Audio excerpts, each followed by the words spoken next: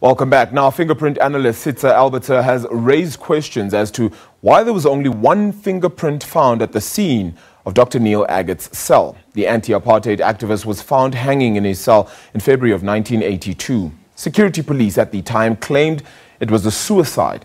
The inquests have been reopened. Now, expert witness Sietze Albertse is a fingerprint, uh, fingerprint expert, as we said, and he told the court of the challenges he faced in collecting evidence and recreating the scene in Dr. Aggett's cell. That's because the John Vorster Square prison has undergone major reconstruction since the 1980s. Now, Albertse further questioned the methods used by the security branch in collecting the fingerprint. He says at least three fingerprints should have been collected.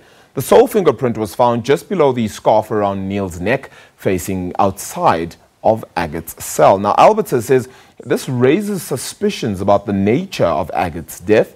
Lawyers for Aggett's family are trying to establish whether the sole fingerprint found in Neil's cell was planted by security police by using a copy of his original fingerprints taken after his death.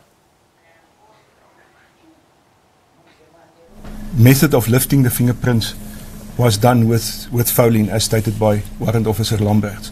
So that is, that is a assumption that I make and that is also one of the constraints is that I could not get hold of the original fouling to look at that.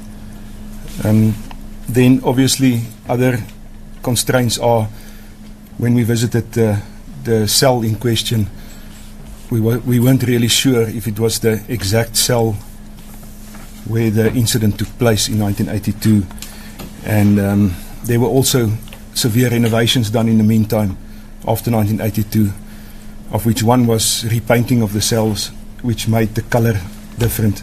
And that is also, I mean, I'm looking at, at black and white photos of the incident.